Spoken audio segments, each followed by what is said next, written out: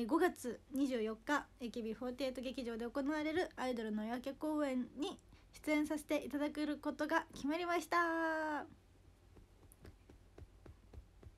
というか自分で決めました。もうなんか舞台もあって本当に出れます？みたいな。感じだったんです。どうですか？みたいな。出れますかね？みたいな感じで聞かれて。私的にはもうその時レギュラーになってるのが決まってたから正直いや厳しいかもなって思ってたんです。てか厳しいだろうなって思ってて。でもチーム K の時も初日を迎えるのがすごく遅くてやっぱなんだろう。それでちょっと後悔した部分がすごくああったのでいっぱい悩んだしやっぱ別に今初日迎えなくても正直別の時に初日を迎えれるかことはあると思うんですけどでもまあこう「出れますか?」って言っていただけてるってことはなんだろう出てほしいなって、まあ、思ってなかったら「出れますか?」って言われてないだろうしハルピョンなら多分できるだろうと思ってやっていただいて言っていただいているのかなっていうのは分からないですけれどもまあでも うんとにかく一日でも早く初日を自分の初日を迎えたかったっていうのがあってだってさ多分やるって私決めないとやらないんですよね。そう課題とか締め切りとかも全然遅あのギリギリにやっちゃうタイプなのでなんかやらなきゃって決めないと多分ずるずるずるずる引きずっちゃう人間なんですよ。だからもう自分の体に鞭打って もうすっごい悩みました。ママとも相談してなんか「でもさ」みたいな舞台「でもさ」みたいなもうずっともうデモのデモの繰り返しでした「えじゃあ出ればいいじゃん」ってママに言われて「でもさ舞台で振り起こせないかもしれないんだよ。じゃあ出なきゃいいじゃん」でもさだってさそのやっぱ初日メンバーが多い方が嬉しい。なんていうの？その時の初日メンバー。だからまあ今8人公演で7人もう初日もう迎えてて1人だけその日に初日っていうのはやっぱり不安だったの。だからでも出なかったらそうなるよってそうなるかもしれないじゃんってもうママにもうデモの繰り返しをたくさんしてそう。で、まあ、ゲッターズ飯田さんの本曰くあの今決断しろみたいな書いてあったんですよ。そう。なんかもう最終的にはゲッターズ飯田。飯田さん好きです。飯田さん。仕事運。人生を変えるようなまあはしょって言いますね。人生を変えるような大事な仕事を任されたり大きなチャンスを得たりする可能性がありますみたいな。求められた仕事に対して全力を尽くすと良い。最初は疑問に思っても今月が運命を変えるきっかけだと分かるかもしれない。どんなことも仕事は手を抜かず自ら志願して仕事を任せてもらったりしましょうみたいなことが書いてあるんですよ。そうざっくり言ったんですけど。全力で取り組めば、うん、運命を一気に変えられる月なんです今月私。だからもうこれをママに伝えたら「じゃあそれはやりなさい」って言われました。だからママもゲッターズ飯田さん信者。やば。やば。なので、えー、5月24日アイドルの夜明け公演。今本当に頑張ってます。マジで頑張ってます。ここ最近本当に寝てはいます。ちゃんとでも。しっかり寝てます。ただ本当にあの昨日のお休みの日も自主練しにその事務所に行って自主練して練習して頑張ったしだから本当に一日休みが欲しい。マジ。そう。まあポジションは大いに予想してもらって当たった外れたって。一喜一憂してくださいぜひ。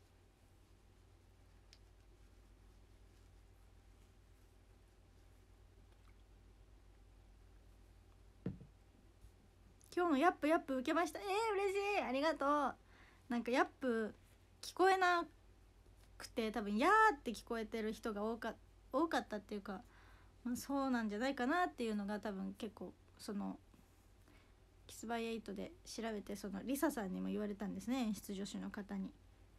だから今日はプーをちゃんとはっきり言ったんですよ。そしたらリサさんにめっちゃ褒められました「今日のプー良かった」って「ありがとうございます」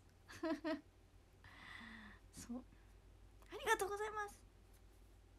よかったって言ってもらえてよかったです。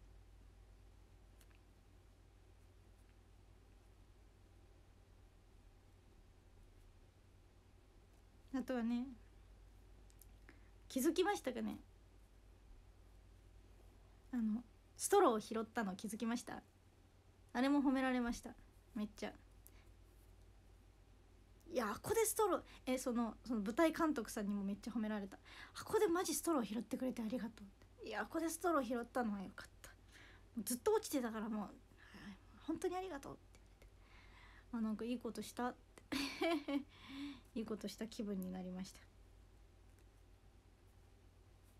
うん、しかもちゃんとハッチっぽく拾ったの偉くない？そう。まあこれ以上は言わないけど。できる女だよ。明日はさハートなの。めっちゃ緊張する。なんかさ8をさ毎日やってるからさ8は毎日やってるからなんかちょっと安心感あるけど2号はマジ緊張する。いつでも緊張する。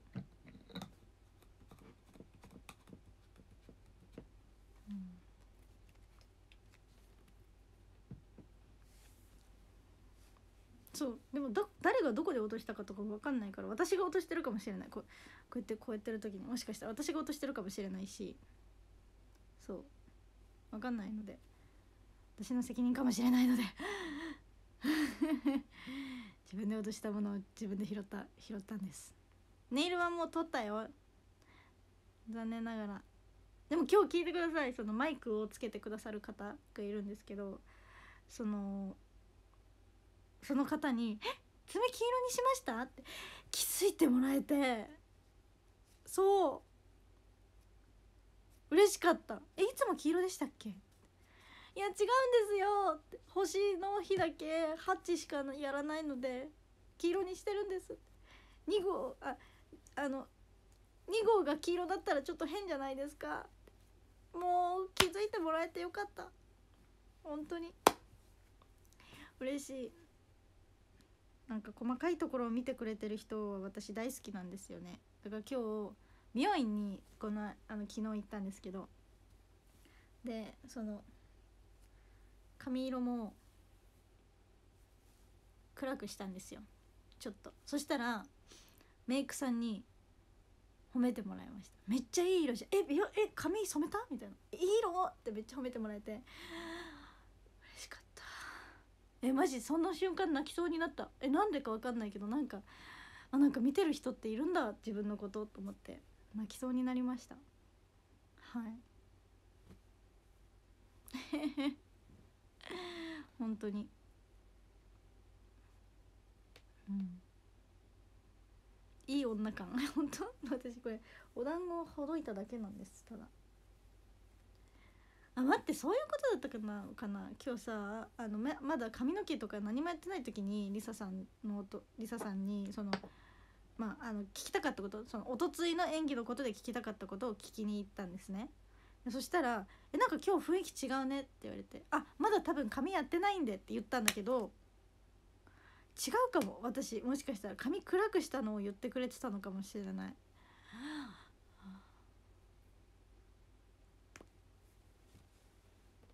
すいません。ミサさんも気づいてくれてたのかも。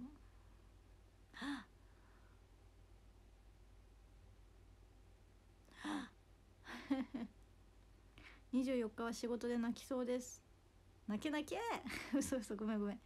でも大丈夫だよ。私別に5月24日にもうアイドルの夜明け公演初日やって千秋楽なわけじゃないから。そうまあもちろん初日にね来てほしいし21歳最後の公演になるし最後のお仕事になるから21歳の。だからもちろん来てほしい気持ちはありますよ。ただうんなんかやっぱ舞台にも今来てもらってたりとかするしいっぱいね有給とかいっぱい多分使ってもらってたりいただいてたりするし確かに私25日5月25日に誕生日なのでもしかしたら生誕がね近々あるかもしれないしまああるのかないのか知らないですけど、まあ、6月7月あたりにはねあると嬉しいなと思ってるんですけどそっちもあるかもしれないからみんながハルピョンの初日に来たいって思うなら初日に来てほしいしやっぱ生誕に入りたいなっていうなら生誕に来ていただけたら嬉しいしうんまあ今ちょっと有給使って舞台来すぎちゃったしあのハルピョンのグッズとかもいっぱいゲットするためにお金とかもちょっと使いすぎたからしばらくは DMM さんで見とくかなっていう方も全然うん。それはもうしょうがない。だから是非あの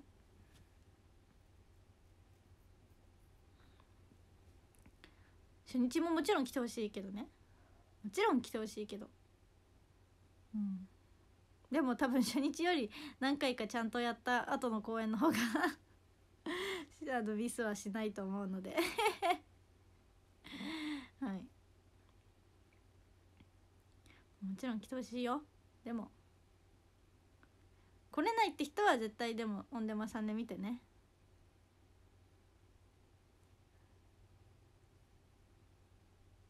そこだけよろしくって感じ。うん。来てほしいよもちろん。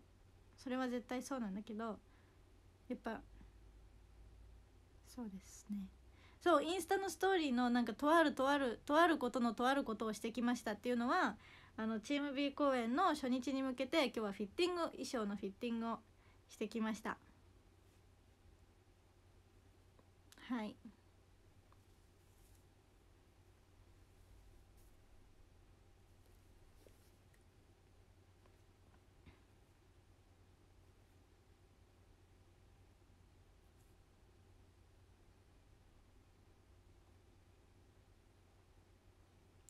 元彼です発売ですって。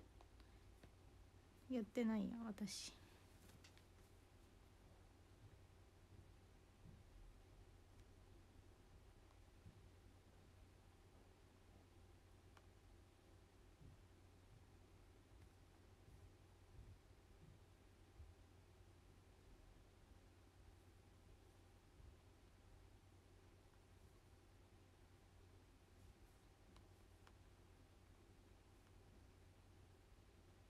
リコンか。オリコンデイリー。シングルランキング。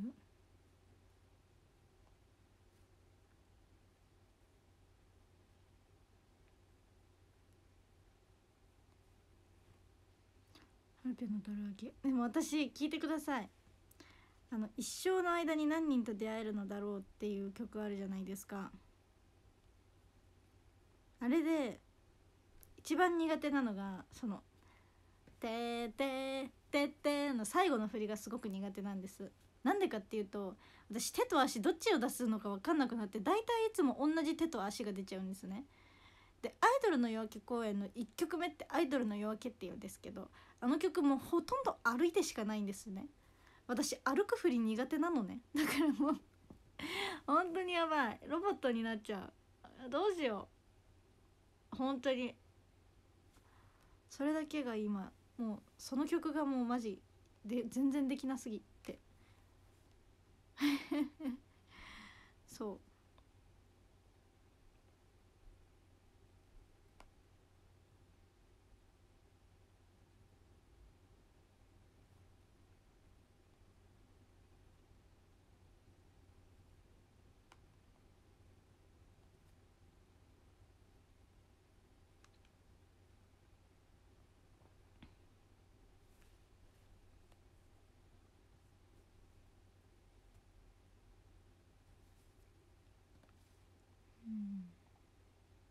チェ・ウィンキさん。パンダさんハートありがとう。だからもうどうしたらいいんだろうと思って。全然覚えれないマジで。アイドルの夜明け。なんか他の曲とかはそれなりにちょっとずつそのレッスン上でやったりとかしながら覚えれるようになったんだけどあと、まあ、まだまだ覚えなきゃいけない曲はいっぱいあって「まあ、完璧」っていう曲はまだねあれなんでこのあとまだまだ頑張りたいとは思うんですけど。なんのせ舞台があるからさ。そうちょっと大変なの。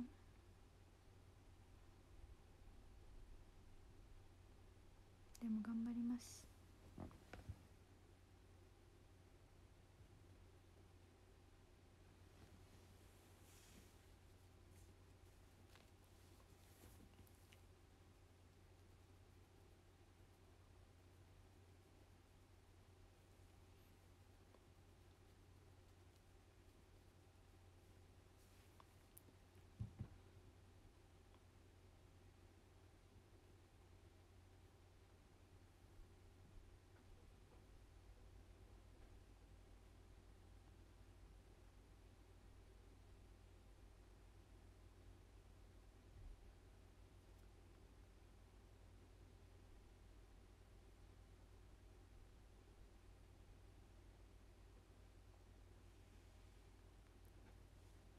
楽器ある方が大変なのかな？どうなんだろう？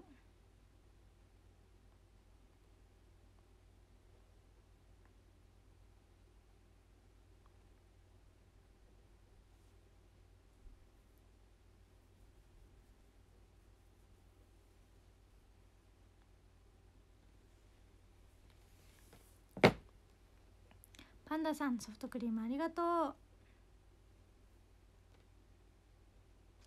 今内さんハートありがとう。えあれって生演奏なんですか？えじゃあみんな楽器えそうなの？吹いてるふりかと思ってた。あれって生演奏なんだ。じゃあみんな楽器できるようになってたってこと？えすごそうなんだ。やってるふりだと思ってたわ。ほら行ったことないからさ私劇場公演。え、知らなかった。しかもオンデマさんの会員とかになったのも私がアイドル AKB になってからなのでパパがねなってくれたのも。そう。だからそうなんだ。サットさんタワヤンさんハートありがとうございます。え、知らなかったです。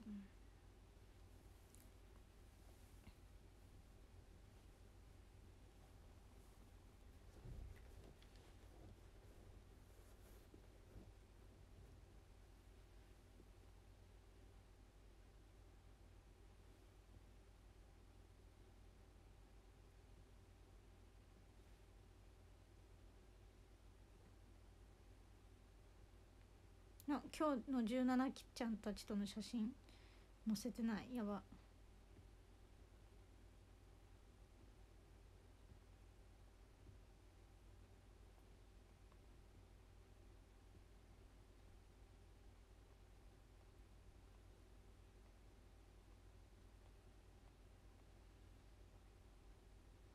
待って。リサさんが「いいね」してくれてない。もうダメ。明日からはもうや生きていけない。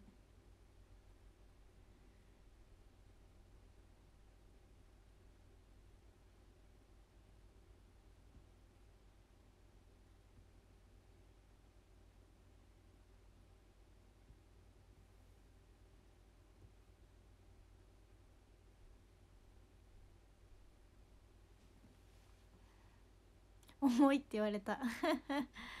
重い女だよ。重い女だよ。もう生きていけない。マクビックさんハートありがとうございます。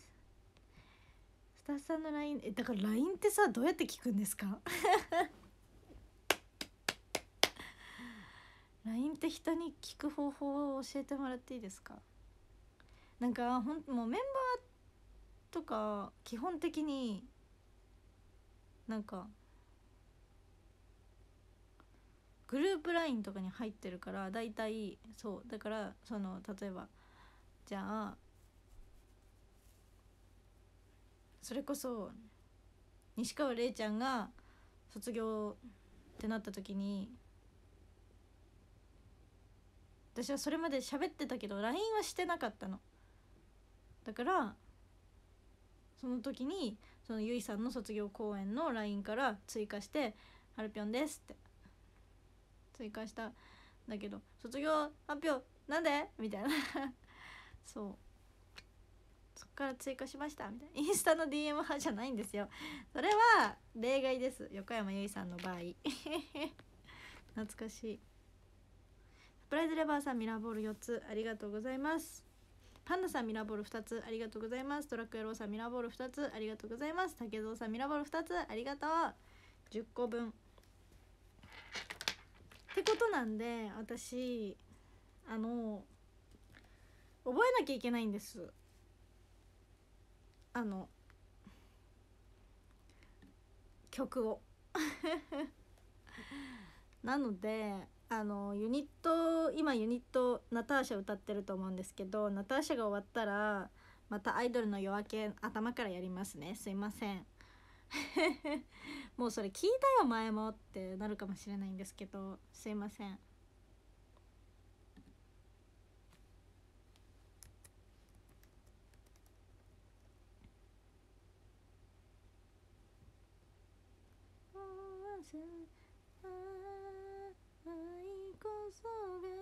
ここ歌ったね。未来の奇跡さ。10個分ね。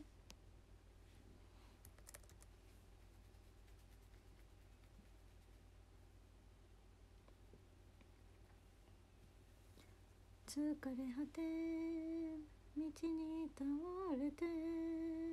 命が消えても僕は後悔。私は君の名前を何度呼べば届くの？絶あいけます。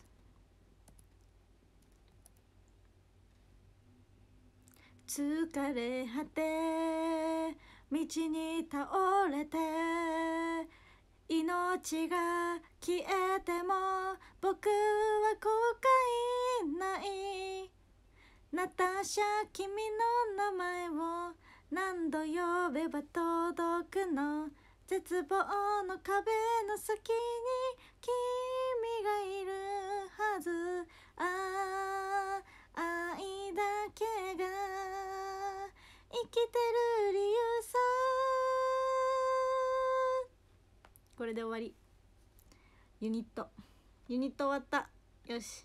5個 ,5 個分歌ったので、えー、もうアイドルの夜明けからいきます。また。すいませんが。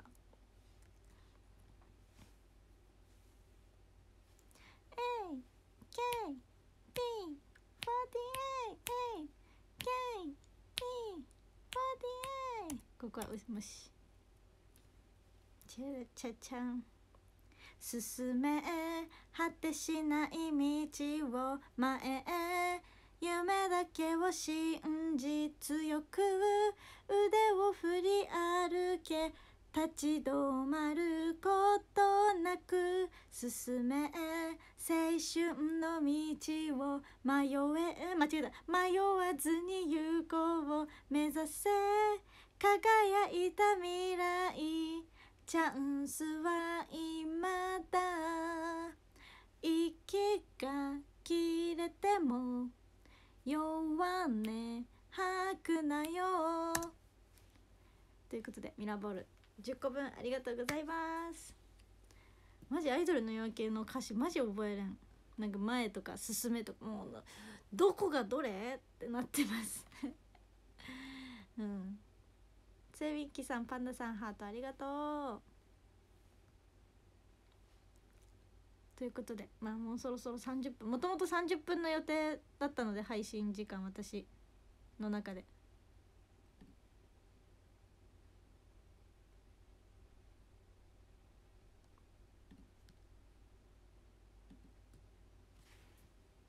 はい。ちょっと覚えなきゃいけないのでね。そうなんだ。覚えなきゃいけなくてさ。うん。ちょっと17期の子たちの写真載っけて。ね。配信終わろう。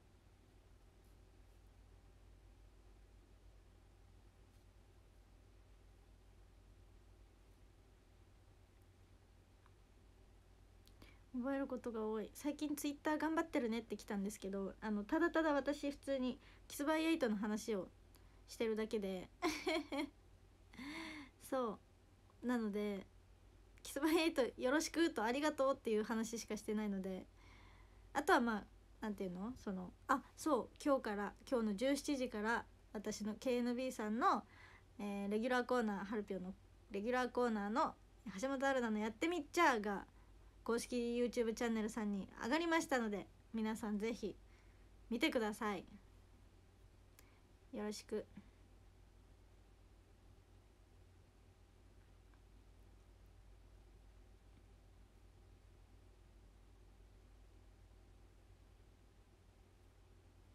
今日はほていちゃんほていもかちゃん。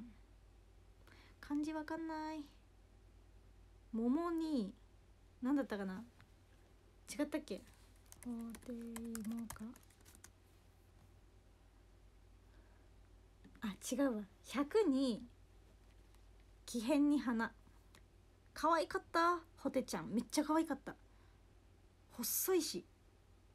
可愛い。なんか薄めで見たらえなんだろう。もう完成されたいや薄めで見たらじゃなくて普通に見て完成されてる。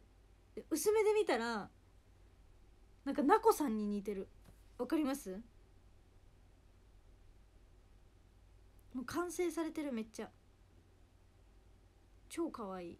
マジで。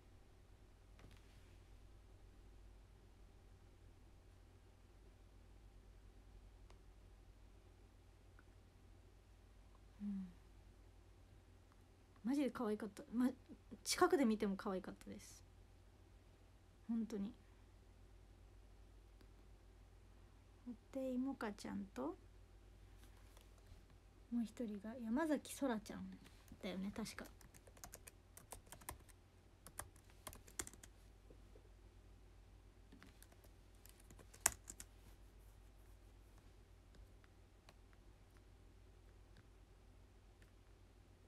違ったっけ？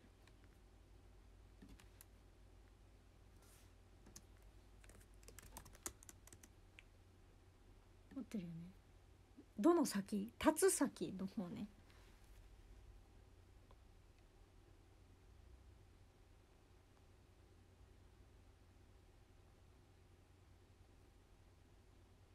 出る先。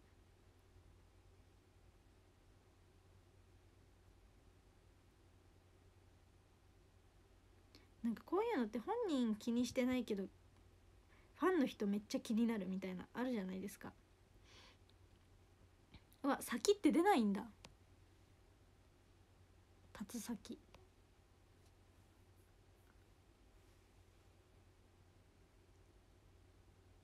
どうやって歌出てくるんだろう。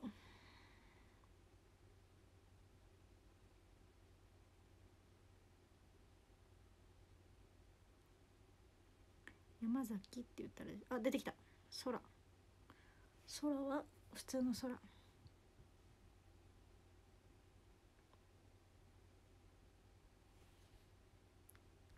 二人とも2004年生まれなの若っ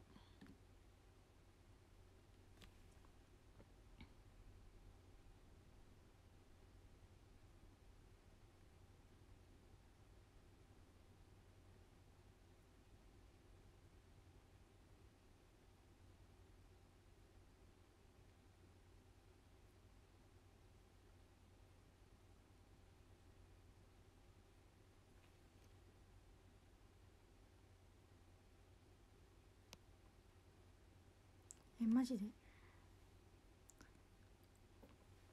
？2004年何してた？え覚えてないよ。4歳でした。そりゃそう。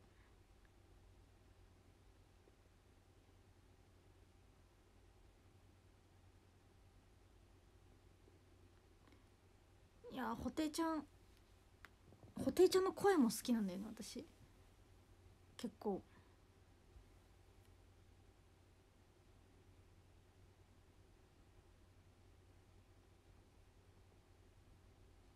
うん。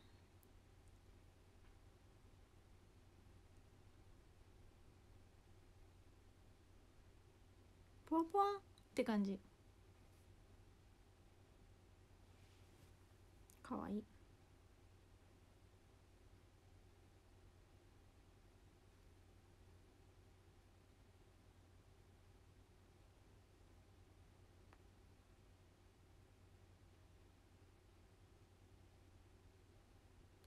アイドルの夜明けが来たアイドルのアイドルオタの夜勤明けさん対、えー、ミラボールありがとうございます。対戦じゃないや。ミラボールだ。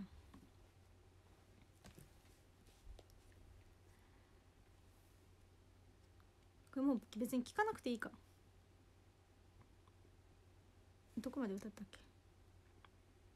ここか。汗を拭って頑張れいやでも聞きながら歌おう。その方が音程が分かりやすい。頑張れ。チャチャチャ。ありがとうミラーボール。ということで終わります。覚えなきゃいけないので終わります。もう。よもう言えるからさもうみんなに。出るんだよっていう。の告知されたのでイコールもう出なきゃいけないので。イコール出なきゃいけないのでもう出れませんっていうのはできないので。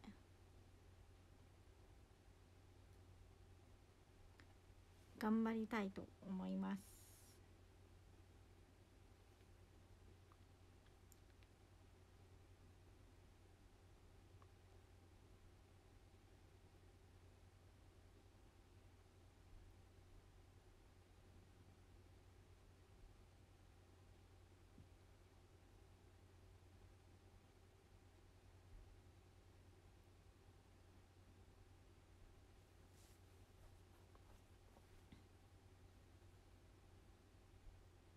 みんなが後悔ない選択をしてくれ。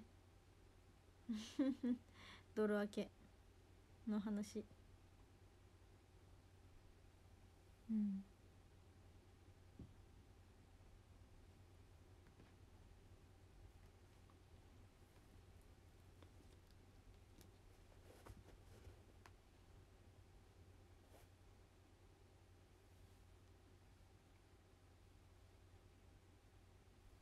だから6月楽になりたかったって気持ちもあった正直。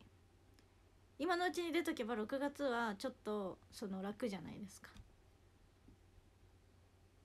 とかその事務所レッスン場に行けるうちにお家だと絶対覚えないから。そのこうやってその舞台期間があってこうなんて言うんだろうレッスン場に行ける時間がまあ時間はないけどそのなんて言うんですかね。それがあるからそれがあったから。だから早めに出たいなっていうのは思ってた。ずっと。でもマジで不安です正直。今もまだなお全然覚えれてないしすごい不安だしなんなら私はもうその23までに完璧にして23になんかみんなで合わせる時間があるらしいんですけどそれまでに完璧にしようと思ってたんですね全曲を。そしたらなんか急に なんか舞台終わりとかになんかその B でみんなで合わせる時間作りますってなってってことはその日までに覚えなきゃいけないじゃないですか。もう私が覚える期間が減ったって感じ。そうだから正直マジ不安です。どうしようって感じ。全然覚えてないのに。なので頑張りたいと思います。ということでランキング読みます。1位トラック野郎さんありがとうございます。2位サプライズレバーさんありがとうございます。3位パンダさんありがとうございます。4位 A ダッシュアットピョンダさんありがとうございます。5位チェウィリンチェウィンキエリカハルピョンラブさんありがとうございます。6位、えー、竹蔵さんありがとうございます。7位班長の班で雑巾のように使われたいサットさん。残念ながらうちは雑巾扱ってなくてモップしか扱ってないんですけどモップでいいですか？モップでもよろしいでございましょうですか？えー、8位マックミックさんありがとうございます。9位ともゆきさんありがとうございます。10位渡りあったあずきさんありがとうございます。11アディビジャヤさんありがとうございます。12位ケネスさんありがとうございます。13位アイドルオータの夜勤明けさんありがとうございます。そして本日のラッキーと88位はあ白紙空白空白さんです。ありがとうございます。そしてミラーボールわお 今ありがとう。待って。ててて。これ歌って終わります。ここでミラボ。それだ。驚き。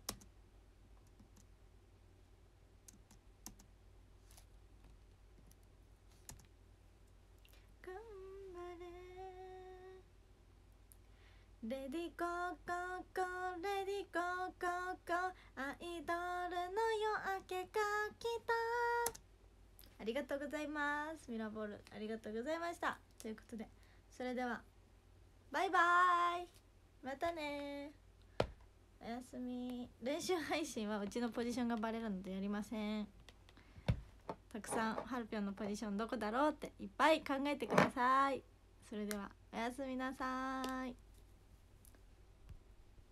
寝ないけどねまだ。頑張るよ橋本は。バイバイ。